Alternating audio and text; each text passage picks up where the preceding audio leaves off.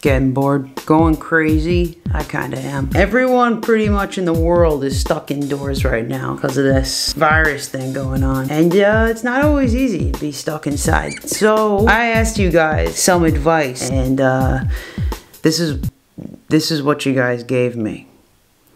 Covering yourself in dirt and pretending you're a carrot. Sitting, breathing. Watch a wall dry. Please choose. Become a psychopath. Cook. Dance. Doodle on paper. Have a boxing match with a balloon. Eat the bar of soap because you thought since it smelt good, it should taste good. Watch Ell's videos. Sleep in bed. Maybe find Sweet Potato a boyfriend and then make them go on a date. Practice my flute playing ability. Get high off of sugar. Impulsively give yourself a haircut or dye your hair because there's nothing else to do and you might as well change your look even when no one else can see. Eat gummy bears and put on a cowboy show. Math. Watch Ell cartoons. Binge watch Ell's videos and neglect all of your responsibilities. Inhale whipped cream. Kermit the Frog. Wait, what? Games.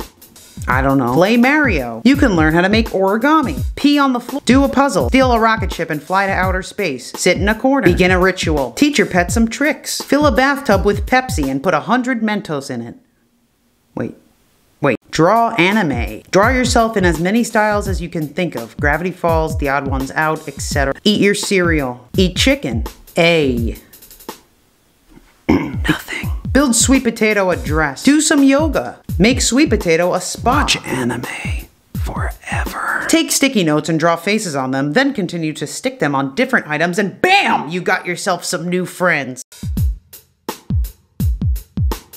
I want to talk to you guys about what I've been spending a lot of time doing to keep busy during this quarantine, and that has to do with this video sponsor, Skillshare. If you don't know what Skillshare is, it's an online learning community. There's all different types of creative topics. Everything is broken up into lessons and are really easy to follow. Here's what I've been learning, how to write a really good story and how to animate better. If you want to learn how to make your own cartoons, I would recommend trying this class by Isaac Ramos. He teaches it on an animation program called Krita, which is actually free to download. So learn how to make animation today. I really hope you guys learned something new, especially while we're all stuck indoors. So that's why the first 1,000 of you that click on the link in the description box below will get a two month free of a premium subscription. Do you know how much you can learn in two months? If you miss out on that, don't worry. Skillshare is only less than $10 a month for an annual subscription, which is a really good deal, especially if you know how much classes usually run for in person. So click the link below, learn something new,